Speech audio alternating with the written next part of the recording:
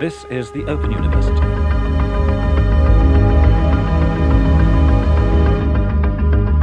This is not the real Open University. This is the Momus Open University. Synthetic Open University. A random series of talks by Momus. The gaunt minstrel of modern angst.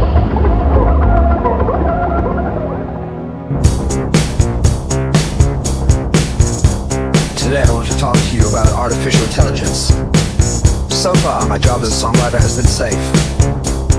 Each time I asked for an automation of Momus music, it gave me doggerel and rubbish. But this month, for the first time, I got a chilly feeling that perhaps the game will soon be over. They had a former website called Udio was able to take lyrics I'd written set them entirely credible pieces of music from various points in history to survive by, but not composed by me. Hello, it's the real me and not a fake AI me. But I want to talk about AI because the theme this week is uh, just how surprised I was when I made the advert for um, Yikes, my new album, at the state of um, AI. Yikes, there's a new album out from Moments to God. It sounds like a compilation, cause guess what? It's got codependency and becoming you, staring a hole and before the war too. on websites like Udio and Suno.com, uh, which can generate uh, very convincing versions of uh, pretty much any kind of song from the 20th or 21st century that you, you can uh, describe. Yikes, the executioners come wobbling round again. Excited by the stench of burning wafting from your home. And there you sit, journaling, journaling your pain. A rotting like a butterfly, down too low. Usually, when I make an uh, album advert, it's uh, with the 3D visualization software on discmakers.com, which uh, shows you what your CD package is going to look like from various different angles. And so, before it's a real object, you can tout it out there in, on the webs um, as a, a potential object and, and twirl it round and sort of make a make a promise to the uh, buyers that uh, there is something that's going to be for sale that's physical.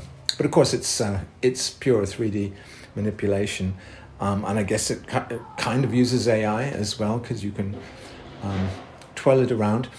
And so far, really, I've not been terribly impressed by what AI can do in terms of the, trying to write a Momus lyric, for instance. It's complete rubbish, and it, if you say write a Momus lyric about, um, you know, the the Cuban Missile Crisis, and it'll do these awful couplets, uh, nothing very um, threatening to my job. There is a line on the one of the, in one of the songs. Took my livelihood, a rat moved in next door. I haven't been particularly afraid that a chatbot would take away my livelihood as a songwriter. That meager though it may be, it's not a, a full time job, unfortunately for me. Um, but uh, I've started to wonder and, and really, I mean, ChatGPT, the cat which farted, as I like to call it, since that's what, what it is in French, le chat uh, GPT, um, is um, also surprisingly useless at doing things like uh, if you ask it to describe the taste of coffee without using the letter E, it's simply incapable of grasping the concept of not using the letter E, as Georges Perec did in his book La Disparition. Uh, A Void in English. He wrote a whole novel without using the letter E, which is, of course, the most common letter in English and in French. Um, ChatGPT, the the 3.5 anyway, the, the, the free one, um, is completely incapable of that. It's also incapable of, for instance, if you ask it um, to tell a joke without it being in the format of a question, what do you call a, you know, a pirate who walks into a whatever, um, with some awful pun in the answer. Uh, it's unable to tell the kind of jokes I was telling in the book of jokes, which are situational jokes. Um, so uh, I wasn't particularly worried or threatened, or you know, it just seemed like an extension of the kind of thing that Eliza was doing 20 years ago, or the evil twin of Eliza, which was called Azil, which was meant to be a shrink, a psychoanalyst. And Eliza was meant to be a kindly psychoanalyst who's, who's sort of like a like a psychoanalyst would let you sit on the couch and you do all the work while they would just interpolate occasionally a question like, uh, "What kind of childhood did you have?" or you know, "Is is that concerning to you?" And then it, because psychoanalysts are so useless in that sense or so detached, uh, it was able to emulate them very easily. So it seemed to me first dealings with the cat which farted. Uh, it was that kind of thing. It was really just making you do the, the heavy lifting.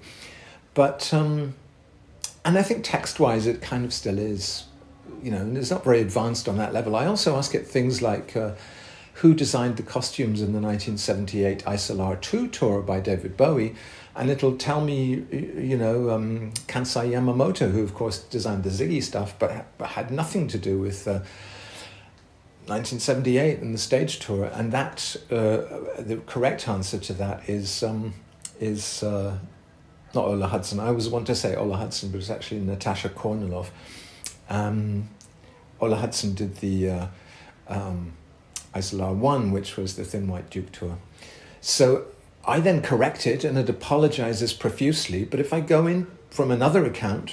Um, it hasn't learned anything because it will still say Kansai Yamamoto designed those costumes in 1978. It, it does not learn. I guess I'm not an authoritative source, you know. And if someone, secondary person, then questions, or me in another account, then questions that uh, answer, it will apologize again and then correct itself and actually eventually come up with the correct answer. But um, it doesn't seem to learn. It's meant to be a, a, a, language learning model, but it doesn't actually learn. It certainly doesn't learn from punters who use it. So, um, you know, again, no threat to my livelihood as a an intellectual, a Maoist intellectual in the music industry, um, or any kind of thinker, writer, talker. But where I've been super impressed is uh, the music in this latest advert, where I just fed into udio.com the lyrics on this album Love me if you love me slowly. Hold me if you hold me near. Take these feelings and control me. Make these feelings disappear. I don't think you can do it with copyright lyrics, which uh, which are already published. I'm not entirely sure. And you also can't specify when you're specifying the kind of music you want these lyrics to be born upon. You can't specify uh, artist names. So I can't say I want you to do something in the style of Momus. Where we could flourish in the sun A world we could move freely through And raise our children in. Where justice raised a sword for everyone And then we started noticing the way you got things done. The lobbying, corruption, and the pain With faltering enthusiasm We still stumbled The style of Momus, it's a, a debatable thing. What is my musical style? I think I've been, I've had the longevity that I have had precisely because I don't have a style. What I have is a number of pastiche abilities which um, glom onto other people's styles and, and pastiche them. Um, of course, there is a sum, there is a, a series of a sum of habits uh, which make my music sound always like me, no matter what I'm doing. I don't work with other people very much. It's surprising, really. Uh, pretty much everything on my forty odd albums is generated musically by me, but it's you know I have an ear for pastiche. I'm not really a great musician, you know, in terms of keyboards. Guitar I'm pretty good at. Keyboards I'm really very amateur at, um, and any other instrument is mostly an emulated electronic form of, uh, you know, clarinets or whatever. Accordion, you know, I was able to do some kind of uh, systems music accordion just by pumping the thing very fast and hitting the, the chord buttons. Um, so really, I'm very much an amateur, and of course, that limitation is itself a spur to originality. If you can't play something well, inverted commas, you can play it interestingly. So um, that's what I tend to do. I tend to make interesting textures, and also I have an ear for wow, what if we took this in the direction of Deutsch-Amerikanische Freundschaft?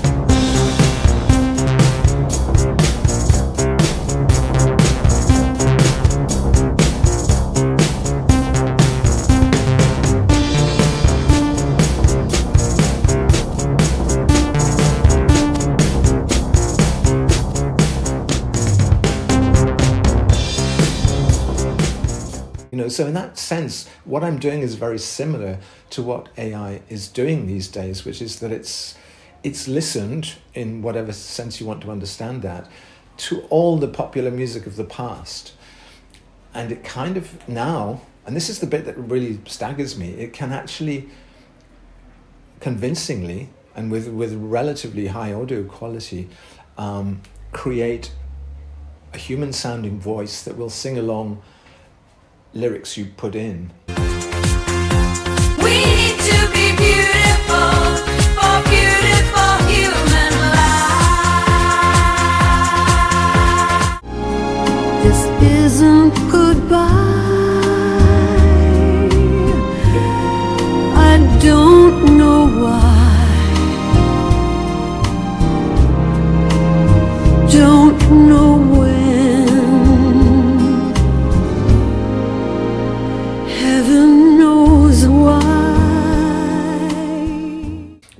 can't do at the moment is you can't put in a, as far as I could see, you can't put in a key or a, a, a- you can sort of structure things a little bit. If you do, there's a remix function on udio.com where you can say, I want there to be a bridge after that and I want there to be a chorus here. And you can specify the song chunk by chunk with the lyrics of the verse and then the lyrics of the chorus. And so to that extent, it is um, promising. Um, I'm kind of raring to go. I'm uh, simultaneously threatened and excited by this development. Kind of raring to just made an album, but I kind of want to make another album using AI because uh, if you simply specify that you want instrumentals, you can get amazing sounds which are not going to be copyright sounds um, of choirs or orchestras or medieval music or you know pretty much anything you can imagine and can specify with a phrase or two.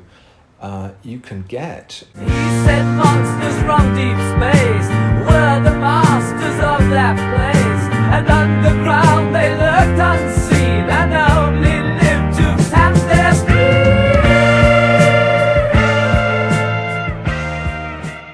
as far as I know, it's a legal grey area that nobody's yet really decided who these uh, things belong to, if anyone. Um, the only payment system I can see working is simply that um, the, the companies using AI would tithe a certain amount to every music publisher in the entire world, which in turn would get passed on through rights organizations to musicians. Uh, but of course, a lot of this is dead people.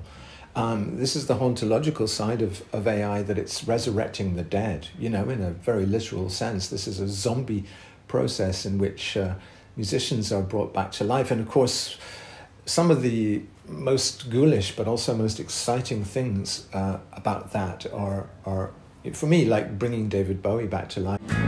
My of ones and zeros with digital eyes. Circuit queen with a mission.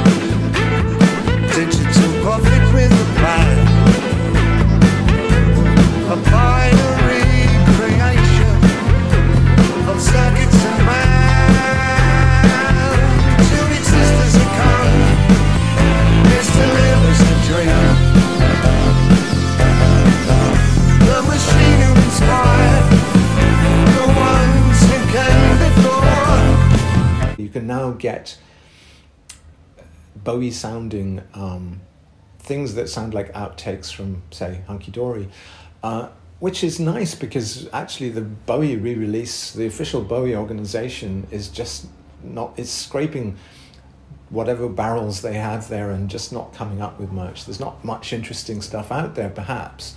Or perhaps they're simply unwilling to release it, or it's going to come out slowly eventually.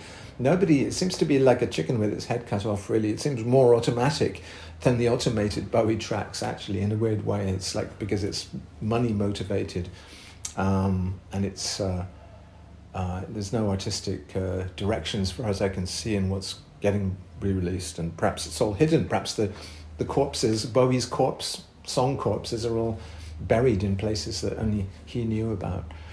Um, but I'm actually rather fascinated to make uh, synthetic Bowie songs, for instance. I never know which version I'm going to be. I seem to have so many choices. Happened to me. My ability to pastiche and the uh, algorithm's ability to pastiche could now be merged in really fascinating ways. So I must say, I find it endlessly interesting, this whole thing. I don't think it's going to kick me out of a, a, job. I do think, though, that an increasing proportion of the pop music of the future is going to be rehashes of the pop music of the past. We're already at that stage culturally because that's what we seem to want. That's what young people want from pop music. It's what old people want from pop music. You know, it's nostalgic for us oldies to hear things that sound like the Beatles and Bowie and whatever. But also, the young people feel that there was a resonance in that era of pop, which they don't really have in anything from this century, really, um, as far as I can see. Uh, so there is this uh, kind of common interest everybody has in in this hauntological resurrection. The Day of the Dead is the final trumpet, and uh, the dead are rising, and uh, it's the second coming, and all that apocalyptic stuff. Second coming of Bowie and all these people who are, alas, no longer with us. Drugs, yes, I can never forgive, but I stay for the sad euphoria. I find it fascinating, and uh, perhaps I'm gonna, like Dr. Frankenstein, I'm gonna go go down to the lab. And last night I was down in the lab, uh, hanging with Frankenstein and his crew. What is it? Iggy Pop wrote, um, "All aboard for Funtown." Momus. Open University. Open, open, but not the real. Open University. A synthetic one. An improvisational series of talks by Momus. The gaunt minstrel of modern angst.